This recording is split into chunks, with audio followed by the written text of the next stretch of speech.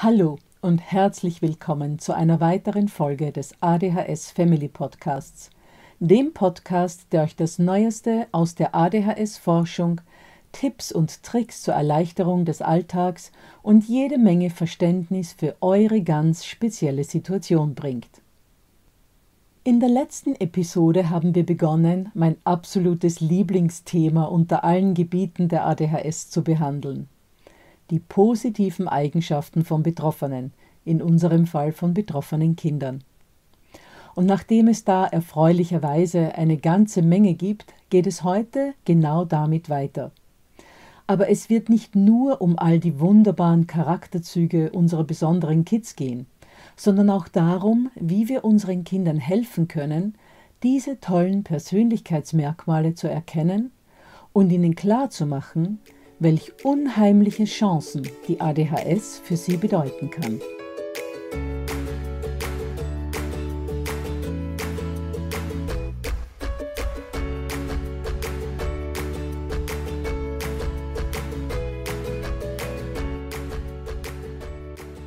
Hallo, ich bin Anna, vor 15 Jahren noch verzweifelte Mama eines Kindes mit ADHS.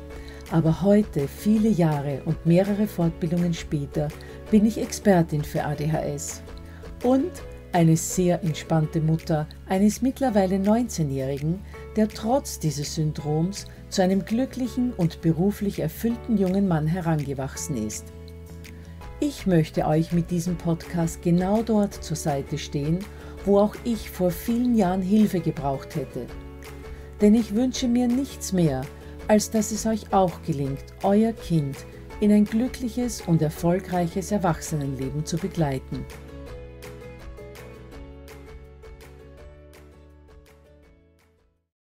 Wie in der letzten Episode schon angesprochen, gehen ja die positiven Eigenschaften von Kindern mit ADHS meist unter zwischen all den besonderen Problemen, die unsere Kinder und damit auch wir als Familien haben. Weder wir als Eltern noch die Kids selbst sehen im stressigen und belastenden Alltag, was sie eigentlich alles drauf haben, wie absolut besonders sie in vielerlei Hinsicht sind, und zwar besonders im positiven Sinn. Um uns all das vor Augen zu führen, habe ich diesen zweiteiligen Podcast gemacht. In der letzten Podcast-Episode haben wir schon einige der besonderen Eigenschaften und Talente von Kindern mit ADHS gehört. Dazu habe ich euch eine Textstelle aus meinem Buch Schon wieder hat Max vorgelesen. Erinnern wir uns. Mama und Papa Bergmann, die Eltern des elfjährigen von ADHS betroffenen Max, kommen gerade von der Endbesprechung mit der Psychologin nach Hause und wissen nun, dass ihr Sohn tatsächlich ADHS hat. Und um der Diagnose die volle Wucht zu nehmen, führen die Eltern ihrem zerknirschten Spross viele der wunderbaren Charakterzüge und Anlagen vor Augen, die von ADHS betroffene Menschen typischerweise haben. Bisher haben wir so erfahren.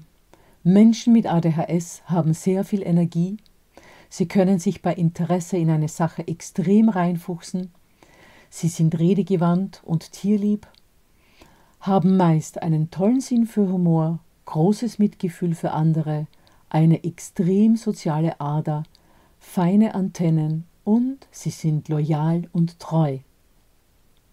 In Teil 2 zu diesem Thema erfahren wir nun, wie die Worte von Mama und Papa Bergmann auf den elfjährigen Max gewirkt haben, welche weiteren positiven Eigenschaften und Fähigkeiten in diesen Kindern meist stecken wo ihr in der ADHS-Literatur und im Internet Belege dafür finden könnt, welch tolle Persönlichkeiten Menschen mit ADHS sind, Textstellen, die ihr euren Kindern zeigen könnt, damit sie schwarz auf weiß sehen, dass die ADHS auch so viel Gutes bringt. Außerdem zählen Max Eltern ihm noch mehrere berühmte Persönlichkeiten mit ADHS auf, damit Max erfährt, dass man trotz ADHS oder gerade deshalb seinen Weg machen kann. Und schließlich hört ihr auch in der heutigen Episode eine Erklärung für etwas sehr ADHS-typisches. Und zwar für diese kaum zu verstehende Diskrepanz zwischen ich habe keinen Plan von irgendwas auf der einen Seite und messerscharfen Verstand auf der anderen Seite. Diese Diskrepanz verstehen wir als Eltern ja meist schon nicht. Und andere verstehen sie schon gar nicht und unterstellen dann unseren Kindern oft, dass sie sich nicht anstrengen wollen oder sich mit Absicht dumm stellen. Aber Papa Bergmann hat da im Buch eine gute Erklärung dafür, die ihr bei Bedarf dem kritischen Umfeld mal um die Nase reiben könnt. Hier also der zweite Teil von Kapitel 7 des Buches Schon wieder hat Max. Wie gesagt, die Eltern haben Max die Diagnose gerade eröffnet und ihm aber auch gesagt, was es alles Gutes an sich hat, wenn man ADHS hat oder an sich haben kann. Und an diesem Abend schreibt Max dann Folgendes in sein Tagebuch. Was soll ich euch sagen, Leute? Natürlich ist es genau so gekommen, wie es kommen musste. Allerdings hätte ich nach all dem, was Mom und Dr. Mannheimer schon so von sich gegeben haben, ohnehin keinen Oktopus und auch keine Glaskugel gebraucht, um das Ende der unendlichen habe ich's oder habe ich's nicht Geschichte vorherzusehen. Klar habe ich die fiese Störung. Gott sei Dank hatten Mom und Dad heute ein paar echt hilfreiche Erklärungen. Anfangs dachte ich ja, die beiden haben sich das alles nur ausgedacht, um mich zu beruhigen. Aber Mom hat dann versprochen, mir morgen einiges aus ihren Büchern vorzulesen. Also können Sie und Dad all die Aussagen, dass ADHS auch was für mich bringen kann und welche berühmte Menschen es auch haben, unmöglich erfunden haben. Apropos Dad. Jetzt muss ich mal ein wenig zurückrudern und die bösen Worte über doofe ADHS Facebook-Gruppen und Mams Gehirnwäsche bei ihm zurücknehmen. Denn er kennt sich in der Zwischenzeit offenbar auch schon recht gut mit dem Thema aus und hat heute sogar mehr Aufmunterndes als Mom gesagt. Ich war echt beeindruckt. Alle Daumen hoch, Dad, meinetwegen auch die blau-weißen. Ja, und am Tag darauf, als Mama und Papa Bergmann dann eben noch weiter in ihren Büchern recherchiert haben, schreibt, nachdem wieder ein Gespräch mit Max erfolgt ist, Harald Bergmann folgendes in sein Tagebuch. Also, ich muss sagen, Doris und ich haben das gestern mit Max besser hinbekommen als erwartet. Wir hatten beschlossen, dass vorwiegend ich reden sollte. Doris meinte nämlich, dass bei Max in letzter Zeit immer öfter die Rollläden runtergehen, wenn sie ihm etwas erklärt. Poh, kein Wunder bei all den Regeln, die sie für die Kids aufstellt.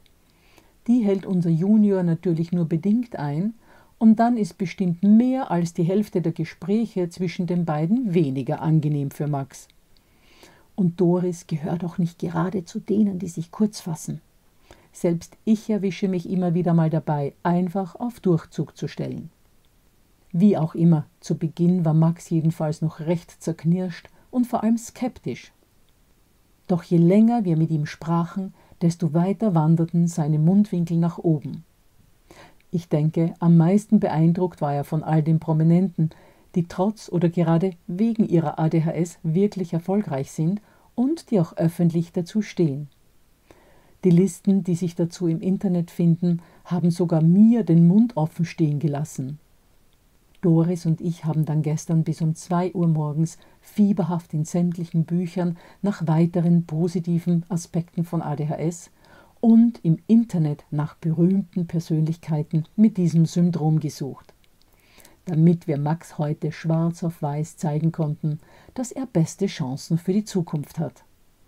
Das hat uns dann selbst auch einiges an Zuversicht und Mut gegeben und uns immer wieder vor Augen geführt, wie viele wunderbare Charakterzüge unsere kleine Nervensäge eigentlich hat. Denn wenn man ständig auf die Mängel seines Nachwuchses hingewiesen wird und dieser ja auch tagtäglich miterlebt, sieht man kaum noch die Qualitäten und Stärken seines Kindes. Gestern haben wir Max ja schon einiges aufgezählt, das wir bereits aus Büchern wussten. Dass Menschen mit ADHS sehr empathisch sind, dass sie einen besonderen Draht zu Tieren haben, dass sie tolle verbale und kommunikative Fähigkeiten haben, dass sie humorvoll und unterhaltsam sind, dass sie andere schnell durchschauen und dass sie aufgrund all dieser und weiterer Eigenschaften beruflich ausgesprochen erfolgreich sein können. Aber es gibt noch ganz viel anderes und auch das machte wieder mächtig Eindruck bei unserem Zweitgeborenen. Menschen mit ADHS haben zum Beispiel einen ausgeprägten Gerechtigkeitssinn und setzen sich oft für andere ein.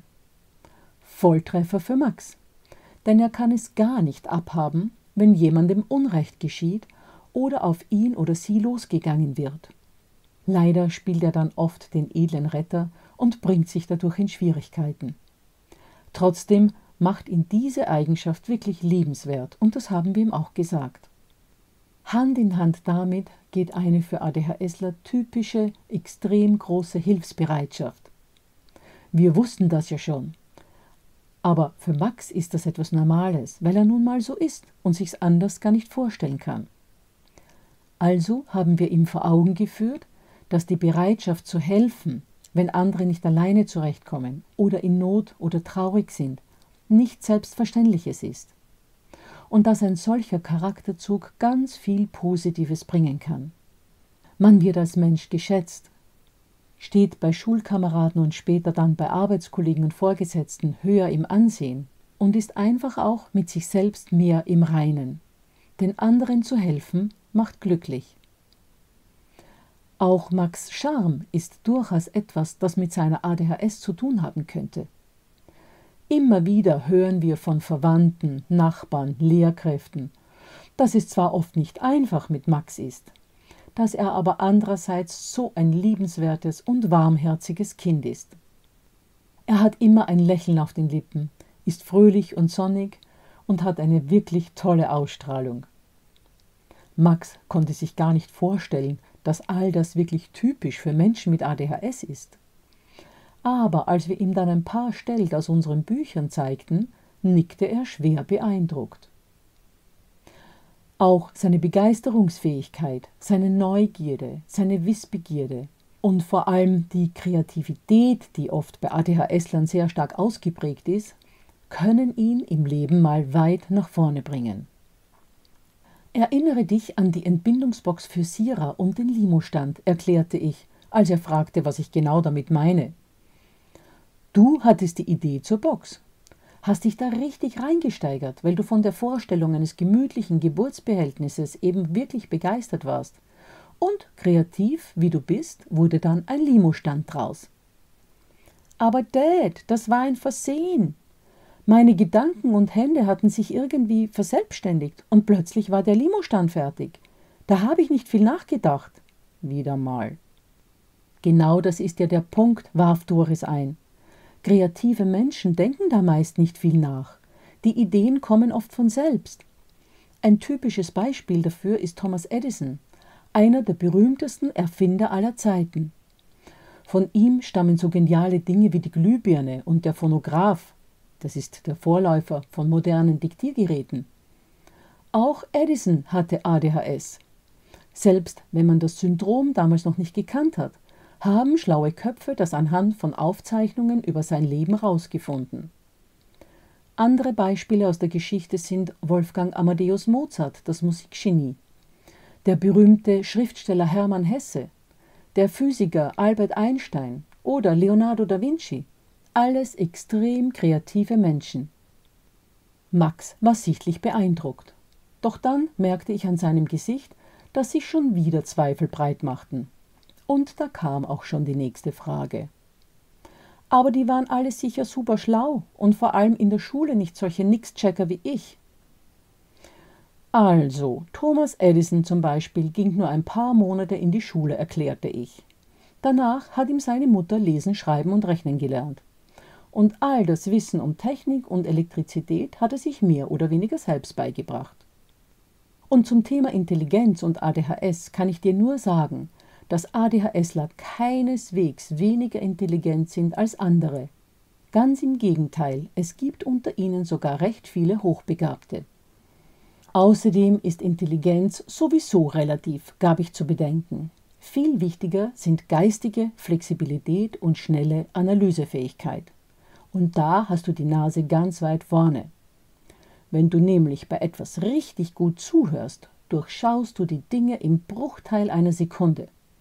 Soll heißen, auch wenn etwas noch so kompliziert ist, kannst du blitzschnell eins und eins zusammenzählen und stellst entweder eine richtig schlaue Frage dazu oder bringst etwas Wesentliches genau auf den Punkt. Wie ein findiger Anwalt vor Gericht. Vorausgesetzt natürlich, dich interessiert, worum es gerade geht. Echt? Max sah mich fragend an. Ja, echt, antwortete ich. Früher war mir nie klar, warum du manchmal etwas relativ Einfaches nicht zu verstehen scheinst, dann andererseits aber oft wieder Sachen sagst, bei denen ich glaube, Klein Einstein steht vor mir. Aber jetzt weiß ich es. Bei den Dingen, die dich nicht interessieren, unternimmst du gar nicht erst den Versuch, dich da durchzudenken. Aber wenn dich etwas fesselt, bist du einfach top, und dann kommt dein brillanter Geist zum Vorschein. Am liebsten würde ich dich ja bitten, den auch täglich in der Schule auszupacken. Aber, meinte ich, als Max gerade eine Bemerkung rauslassen wollte, da sind wir wieder beim leidigen Thema Interesse, schon klar. Max grinste mich an. Ich hatte die Diskrepanz zwischen keinen Plan von irgendwas und messerscharfe Analysefähigkeit offenbar auf den Punkt gebracht. Umgekehrt hatte er anscheinend verstanden, dass er nicht prinzipiell für alles zu doof, sondern ganz im Gegenteil eigentlich ein extrem schlaues Bürschchen ist und es nur daran liegt, dass ihm ein inneres Überlebensprogramm sagt, Uninteressantes besser mal zu ignorieren. Das macht das Programm, um sämtliche Kräfte für Wesentliches zu sparen. Eine Erkenntnis, die für die Schule zwar nichts bringt, die aber zumindest für seinen Selbstwert unheimlich wichtig ist. Als Max dann im Bett war, saßen wir beide geschafft am Küchentisch. Wir waren ausgelaugt. Einem Kind Mut zuzusprechen und ihm zu vermitteln, dass es okay ist, wie es ist, trotz seiner Defizite bedingungslos geliebt wird und auch ganz viele tolle Eigenschaften und Fähigkeiten hat, ist ziemlich kräfteraubend. Mir wird langsam wirklich bewusst, was Doris bisher nahezu im Alleingang an Erziehungsarbeit geleistet hat. Klar verbringe ich viel Zeit mit den Kids. Wir balgen rum, spielen Fußball, machen Sport und haben einfach Spaß miteinander. Aber dieses ständige Hinterfragen, was die Erziehung anbelangt, habe ich bisher immer Doris überlassen. Bei dem heutigen Gespräch habe ich allerdings bemerkt, wie wichtig es für Max ist, auch mal von mir zu hören, dass ich mir Gedanken über ihn mache. Er muss wissen, dass mir sehr wohl klar ist, welche Stärken und Schwächen er hat und dass ich über seine Zukunft nachdenke. Ich hoffe, im Elterntraining wird auch thematisiert, wie man sich da als Vater mehr einbringen kann. Mir fehlt der Plan, wie ich das zeittechnisch bewerkstelligen soll, weil ich ja doch immer erst am Abend aus der Firma komme. Außerdem fällt mir nicht wirklich etwas ein, das ich zur Max-Entwicklung beitragen könnte abgesehen natürlich von Doris viel gepredigter Konsequenz. Aber für die muss ich noch so richtig üben. So, und jetzt hören wir noch mal kurz etwas von Max, was er von all dem hält, das ihm seine Eltern im zweiten Gespräch gesagt haben. Jawohl, es ist doch noch nicht alles verloren. Mom und Dad haben heute wieder mit mir geredet und mir noch mehr Zeugs erzählt, das mir echt Hoffnung gemacht hat. Ich könnte sogar richtig berühmt werden. Ohne Flachs. Die beiden haben mir gerade eben am Küchentisch einige Leute genannt, die auch ADHS hatten oder haben und trotzdem mega bekannt geworden sind. Und zwar so bekannt, dass sogar ich von denen schon gehört habe. Einer davon war nicht mal wirklich in der Schule. Da wollte ich natürlich gleich einhaken, habe Mom dann aber doch nicht unterbrochen. Mann, wäre das nicht genial, nicht mehr in diesen Verein zu müssen. Aber da wird Mom noch eher Zocker-Junkie, als dass die die Schule abschaffen. Also hörte ich lieber Dad weiter zu, der im Übrigen auch heute wieder jede Menge Likes bei mir eingesammelt hat. Aber nicht nur wegen all den geilen Dingen, die er und Mom mir als typisch für ADHS klargemacht haben.